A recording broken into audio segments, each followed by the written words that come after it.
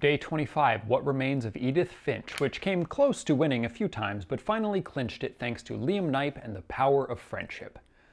And in that spirit, I will do my best to pretend like its stunningly poor performance on the world's most powerful video game console isn't really that bad. I've thought a lot about death over the last two years. I think we all have. The reality that more than 850,000 Americans had COVID 19 on their death certificates is overwhelming. At this point, the lucky ones are two degrees of separation. Everyone knows someone whose friend or father or at all died if they aren't the one grieving. Tragic doesn't even begin to describe it. And after that, Whoever's left has to pick up the pieces, pack up the boxes, junk the drawers, a life measured in pounds hauled to a dumpster. What would I leave behind? If I died tomorrow, what would my legacy be? It's kind of a rhetorical question because we both know the answer because I'm performing it and you're watching it. At this point, the story of Alec Kubas-Meyer exists primarily in the form of these 150-ish YouTube videos, and while there must eventually be a series finale, I doubt anyone would be willing to edit together and post footage of my death to this platform. And it's even less likely that anyone would make a critically acclaimed video game out of it. But it's interesting to know that someone could. I know that the titular Finches aren't real, and that their deaths as depicted in What Remains of Edith Finch are not gamifying specific people's final moments. But certainly, people had those experiences drowning in a bathtub, being struck by a train, even being crushed by a tent in a windstorm. All of those have definitely happened and definitely resulted in real fatalities. And now I have played through those experiences. Sure, I've been hit by trains in games before, but then I just go and restart. It was punishment for a wrong move and not the whole dang point. And it may look pretty similar, but it sure feels different. What Remains of Edith Finch is a first-person exploration game, a so-called walking simulator seen from Edith's perspective as she learns about the tragedy of her family tree, one so plagued with misfortune that they finished the graveyard before they did the actual house Edith grew up in. Then again, a house like theirs doesn't just go up overnight or even in weeks or months. It's years in the making, with strange OSHA defying additions as members of the family grew further apart and needed more space but refused to leave the property. Edith was pulled away from the house suddenly at the age of 11, but as the game starts, she has come back six years later because her mom, now deceased, left her a key. She doesn't know much about what happened that night or really in the years prior what happened to her family members, what secrets her mom had kept.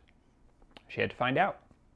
The house seems to have been untouched since she left, though in a fantastical kind of way. The old food looks like it's been out maybe a few days. The inevitable decay seems to have stopped around the same time the power did.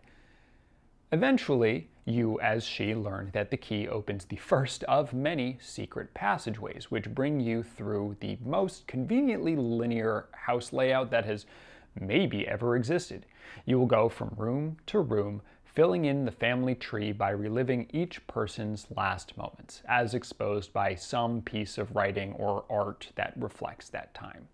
You may wonder how, exactly, someone was able to journal their death in real time, but don't do that. You're a loser if you do that.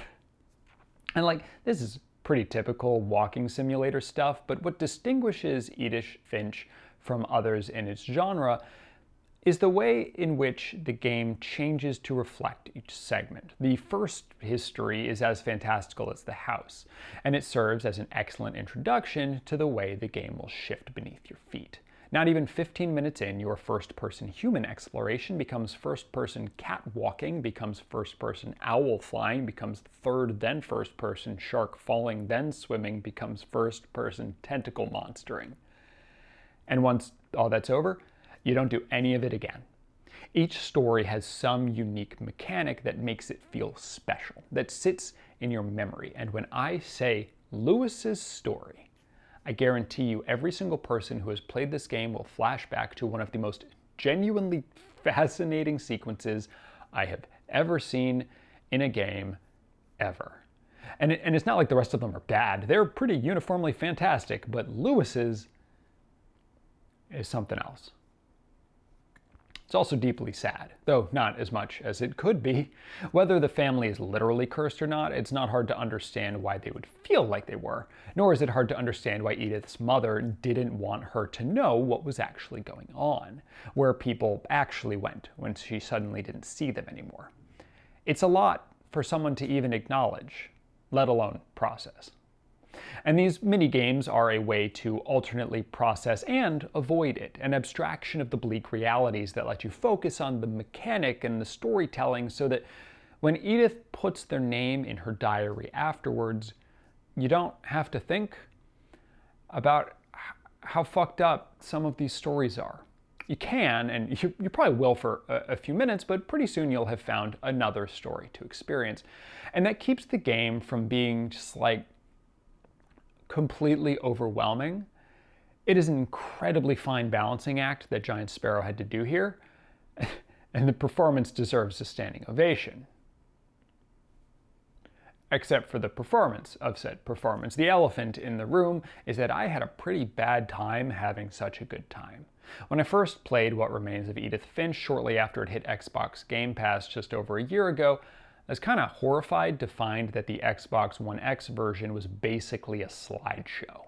After 20 minutes, I just gave up. I downloaded it again when I got my Series X later in the year, excited that I might finally be able to play the thing properly, but no. It somehow still had an unstable frame rate. And that was that. I resigned myself to just never finishing it until it was selected for me. And I had to deal with the technical problems. Fortunately, a walking simulator can get away with subpar performance in that the frame rate issues didn't inhibit my ability to progress the game, but it certainly diminished the effectiveness of what I was seeing. And that sucks, because I know that if I had played it on another platform, I would have had a better time. Even in this state, it's the best game of its type that I've played. Imagine the superlatives I might have bestowed upon it if it were able to run at just 30 frames per second on a machine with 12 teraflops of graphics performance. 8.3 out of 10. Thank you so much for watching. Thank you particularly to my patrons, my mom, Hammer and Marco, Kat Saracata, Benjamin Schiff, Anthony Cole, Elliot Fowler, Greg Lucina, Kojo, Phil Bates, Willow, I'm the Sword, Riley Zimmerman, Claire Bear, Taylor Lindees, Andrew Madison Design, and the folks who'd rather be read than said. If you like this video, that's great. If not, oh well. If you want to see more, there's uh, still a few more days to uh, uh, suggest things. We're getting we're getting real close to the end now. Real close. Pretty wild. Bye.